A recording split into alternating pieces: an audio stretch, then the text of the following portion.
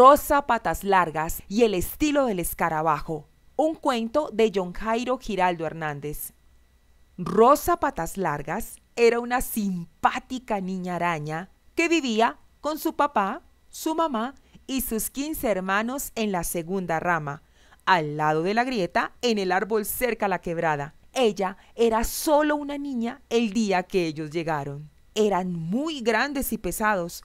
Rosa Patas Largas los miró con curiosidad y al principio solo vio piedras como las del suelo, pues eran oscuros y redondos, pero luego notó que tenían patas, no ocho como las arañas, sino seis, y eran patas gordas y cortas, no largas y flacas como las de las arañas. Algunos incluso tenían cuernos largos y fuertes que salían de atrás de sus cabezas. ¡Qué arañas tan raras! pensó Rosa Patas Largas. Pero no eran arañas, ellos mismos lo dijeron, eran escarabajos.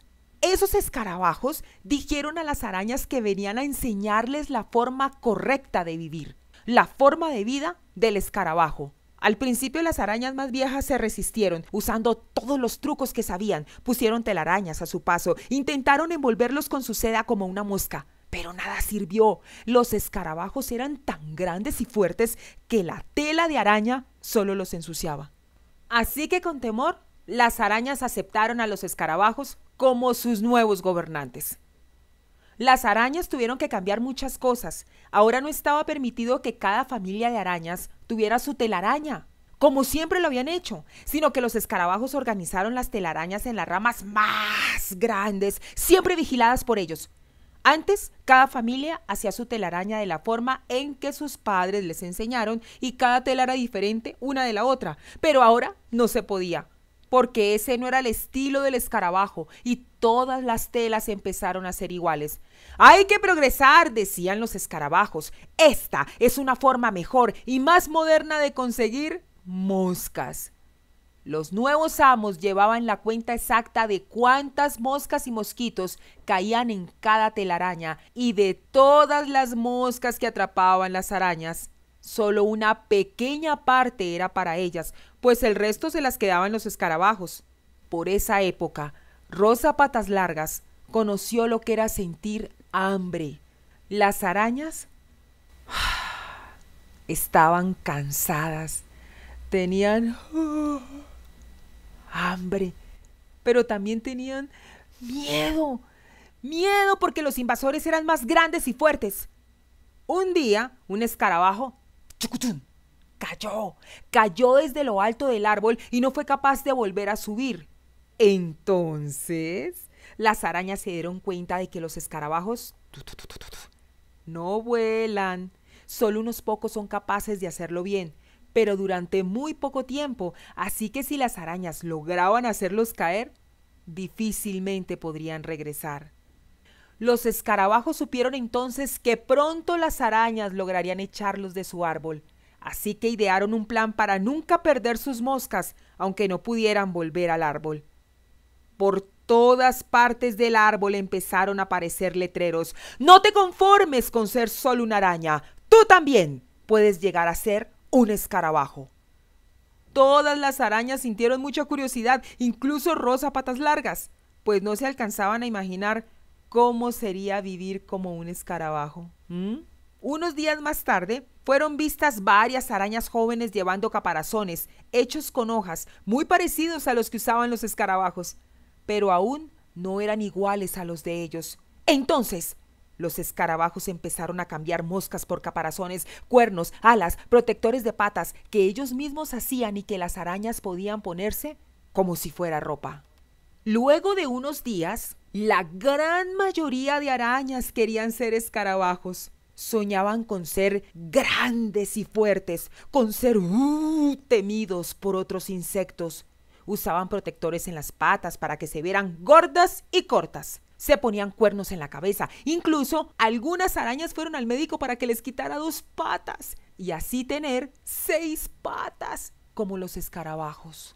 Sin embargo, las arañas mayores ya habían unido sus fuerzas, estaban haciendo caer del árbol muchos escarabajos, hasta que un día las arañas les dijeron, Es hora de que se vayan o los haremos caer a todos del árbol. Los escarabajos aceptaron y se fueron a vivir al suelo, pero estaban tranquilos pues sabían que no perderían sus moscas.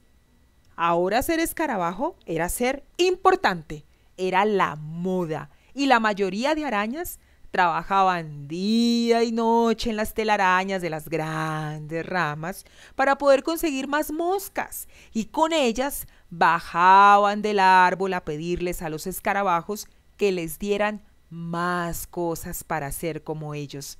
A nadie le importaba que cada vez hubiera menos moscas pues las telarañas de los escarabajos eran tan grandes que atrapaban muchas más de las que las arañas necesitaban para comer. Rosa Patas Largas no fue la excepción. Había logrado conseguir unas hermosas alas de escarabajo, luego de trabajar durante semanas en la telaraña. Pero un día su hermano mayor le dijo que ya no se llamaría Humberto Patas Largas. De ahora en adelante sería Humberto Patas Cortas. Entonces, Rosa Patas Largas supo que muchas de las antiguas familias de arañas ya no usarían más sus apellidos, sino que tendrían apellidos de escarabajos. Los tarantuela se volvieron escarabajuela. Los saltarrama se convirtieron en los caminazuelo y con dolor vio que los patas largas se volvían los patas cortas. Rosa Patas Largas recordó entonces su niñez.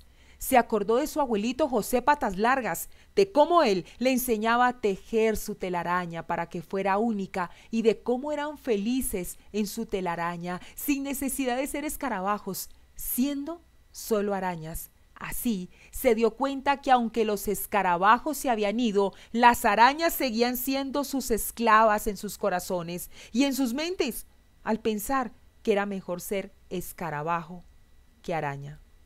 Rosa Patas Largas decidió vivir de otra manera. Volvió a construir una telaraña en su casa. Dejó de darle moscas a los escarabajos. Incluso dejó de usar las alas que tantas moscas les costó conseguir, y ahora solo atrapaba las moscas que necesitaba para comer. Las otras arañas decían que Rosa Patas Largas era un bicho raro, pues no hacía lo que todos hacían.